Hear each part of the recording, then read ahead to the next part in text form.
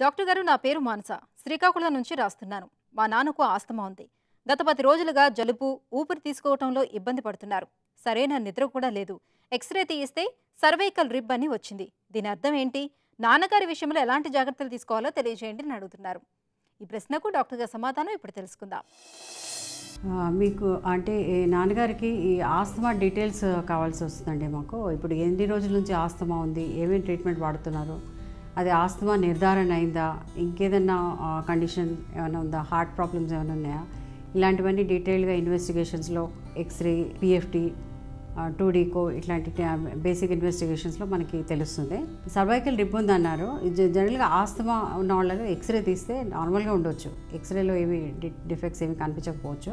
కొంతమందికి ఈ లంగ్స్ కొంచెం ఎన్లార్జ్ అయినట్టుగా హైపర్ ఇన్ఫ్లేటెడ్ లంగ్స్ అంటారు. అలాంటివి కనిపిస్తుంటాయి. కానీ ఆ ఎక్స్రేలో ఎన్ ఎన్నోసార్లు మనకి ఎక్స్రే తీసినప్పుడు ఆస్తమాలో నార్మల్ ఎక్స్రే ఫైండింగ్స్ ఉండ ఉండవచ్చు అన్నట్టు సో ఆ ఈ ఆస్తమా అనేది క్లినికల్ డయాగ్నోసిస్ ఒకటి అండి. క్లినికల్ సిమ్టమ్స్ని బట్టి దగ్గు ఆయాసం రావడము సీజనల్గా ఆయాసం రావడము చలికాలంలో వర్షాకాలంలో ఎక్కువగా ఆయాసం రావడము పిల్లి కూతులు రావడము ఇట్లాంటి సిమ్టమ్స్ని బట్టి అది ఎపిసోడిక్ సిమ్టమ్స్ అంటే ఓ- ఒకసారి ఉంటుంది సడన్గా మళ్ళీ తగ్గిపోయి మళ్ళీ నార్మల్గా ఉంటారు. ఇంటర్మీడియట్ ఎపిసోడిక్ సిమ్టమ్స్ అలా ఉన్నప్పుడు ద అండ్ టిపికల్గా డస్ట్ అలర్జీ అలాంటి కొంచెం కొన్ని కోఇన్సిడెంటల్ హిస్టరీలో ఫైండింగ్స్ ఉంటాయి. ఇలాంటివి ఉన్నప్పుడు ఆస్మా అని మనకి అది మనము అన- అనుకోవచ్చు. దాన్ని మనము పిఎఫ్టీ వీటి వీటి ద్వారా అంటే లంగ్ ఫంక్షన్ స్టడీ ద్వారా మనం దానికి అబ్స్ట్రక్షన్ ఉందా లేదా అని తెలుస్తుంది మనకి.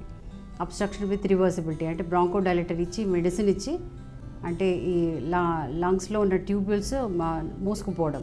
బ్రాంకోస్పాజం అంటే అబ్స్ట్రక్షన్ అంటే అది మెడిసిన్తో రివర్సిబిలిటీ ఉందా లేదా ఇలాంటివన్నీ చెక్ చేస్తే మనకు ఆస్తమా ఉందా లేదా అని నిర్ధారణ అవుతుంది. మీ ఫాదర్కి సర్వైకల్ రిప్ ఉందని ఎక్స్రేలో కనబడిందని చెప్తున్నారు. సర్వైకల్ రిప్ అనేది ఇన్సిడెంటల్ ఫైండింగ్ అది. దానికి ఆస్తమాకి ఏం సంబంధం లేదు. సో నార్మల్గా పన్నెండు రిప్స్ ఉంటాయి ఇటువైపు అటువైపు. అంటే ఊపిరితిత్తుల చుట్టూ ఒక ఒక ఇల్లులాగా రిప్స్తో పన్నెండు రిప్స్ అటువైపు ఇటువైపు ఈ ఊపిరితిత్తుల్ని కవర్ చేస్తూ ఉంటుంది అన్నట్టు దాన్ని స్ట్రక్చర్. అవి బోన్స్ బోన్స్ పన్నెండు ఇటువైపు right right side left side అలా ఉంటాయి.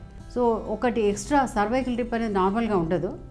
ఎక్స్ట్రా అంటే సర్వైకల్ రిప్ అంటే నెక్లో ఉంటుంది అది నెక్ ఏరియాలో ఉంటుంది. సో మామూలుగా మనకి చెస్ట్ ఏరియాలో ఇలా రిప్స్ ఉంటాయి. నెక్ ఏరియాలో రిబ్ కనిపించినప్పుడు దాన్ని సర్వైకల్ రిప్ అంటారు. అది ఇన్సిడెంటల్ ఫైండింగ్ దానికి ఆస్తమాకి సంబంధం లేదు. అది అందరిలో ఉండదు ఒకళ్ళు అప్పుడప్పుడు ఇలా చూస్తూ ఉంటాం మనం. It it is a variation.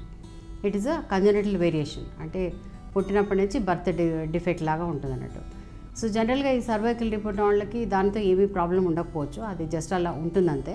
కొంతమందికి అది దేని దేనైనా కంప్రెస్ చేయడము దానివల్ల కొంచెం ఆబ్స్ట్రక్షన్ అలాంటివి సిమ్టమ్స్ అని అలాంటివన్నీ కనిపిస్తూ ఉంటాయి. కానీ దానికి ఆస్తమాకి ఏమీ సంబంధం లేదు.